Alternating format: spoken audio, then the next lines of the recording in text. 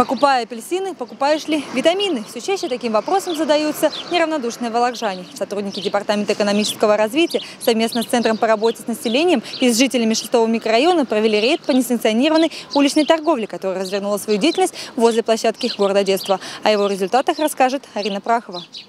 Если на вид она вроде ничего, то вот мы берем в руки, и она вся в пыли. Ведь и ладно мы пыль видим, а тяжелые металлы, которые летят с дороги. И если пыль водой смыть можно, то вредные вещества ничем не отмоешь. Особенно если съесть манящий фрукт прямо на улице. Дети так делают нередко. Соблазнов-то много у них в купе, деньги есть. А это же все грязное. Руки помыть негде, вымыть это тоже негде. А детей рядом с Евковским прудом всегда много. В июне здесь открылась площадка города детства, а потому активные жители 6 микрорайона и представители ТОСа решили взять проблему под общественный контроль. Таких вот не должно быть близлежащих соседств, где овощи, ягоды, табак и детская площадка смешались с дорогами и прудами. Именно поэтому 4 июня здесь прошел совместный рейд представителей ТОСов, Центра по работе с населением и специалистов городской администрации.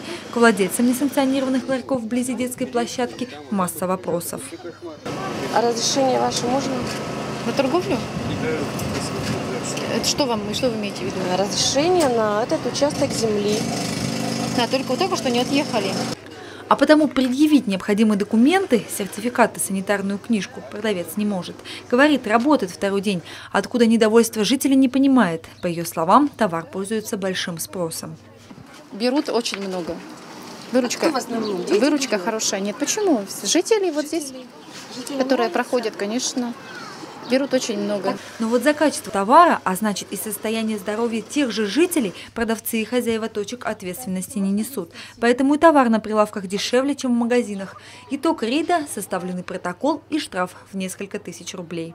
Активизировалась э, такая торговля несанкционированная. Как правило, они вообще неуправляемые у нас в городе. С одного места кочуют на другое. Составишь протокол, сегодня, допустим, на одном, по одному адресу, завтра, может быть, уже в другом месте. В общем, ситуация очень такая нехорошая с такой торговлей, с организаторами торговли. Взять ситуацию под свой личный контроль теперь могут и волокжане. Организовать рейд и наказать тех, кто торгует овощами и фруктами без сертификата, помогут в Центре по работе с населением. Будут организованы рейды и так далее. Например, когда к нам обратились жители у магазина «Гастроном», это бывшая «Элма», по нахождению там ларька «Шаурма», чья продукция вызывала э, сомнения и отравления, ларька уже нет. Специалисты призывают жителей особенно обратить внимание на те территории, где находятся площадки города детства, чтобы как можно меньше юных волокжан попадались на удочку нелегальных торговцев.